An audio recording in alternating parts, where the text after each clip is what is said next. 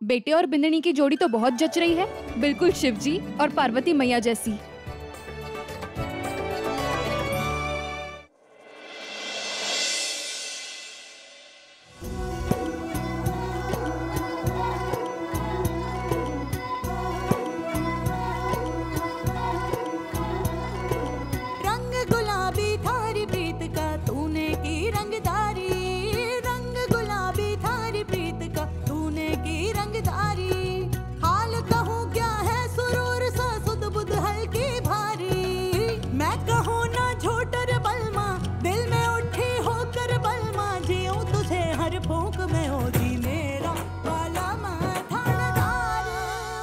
आपको किसी की नज़र ना लगे।